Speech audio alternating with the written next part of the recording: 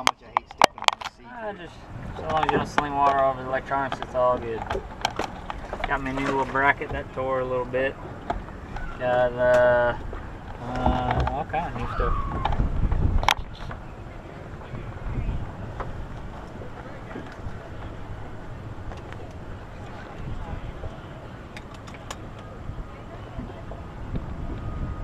Windshield dirty. Yeah, dude, it's, I'm gonna replace that pretty soon.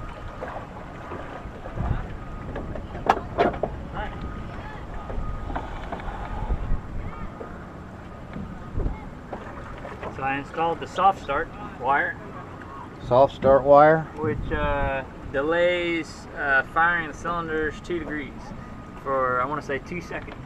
And so you'll notice that takes a little more, just a pinch more throttle, and then two seconds later it's gonna go woo, and it basically keeps all that ratcheting in the gearbox Uh huh. keeps that wear down, which keeps your gearbox lasting longer. Ooh, I couldn't do that. Tear my knees up. Master. uh, yeah.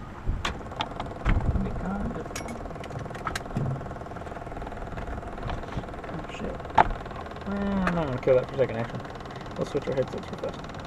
Off. Yeah, you know what's paying for this. Give you roses. What are we at? Nine five. Huh? Should I be going?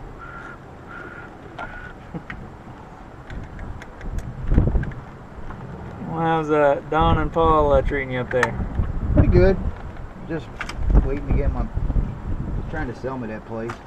I mean, I'd like to get it, but Don's place? yeah, it's too much. What do you want for it? Three. No. Well, he's, he's retiring, that's for sure. How do you get this white line on here? Paint.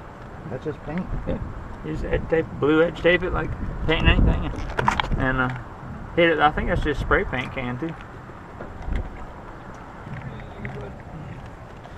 It's on the inside. So you got to do that first. Well, I'd have to look at the build manual. to Remember? I just remember edge taped it, sprayed it, and, and uh, voila. Cool. There we go.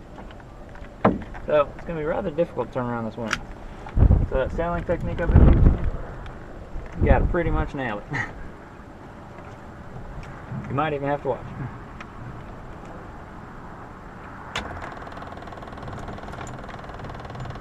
You ready? Yeah. Clear.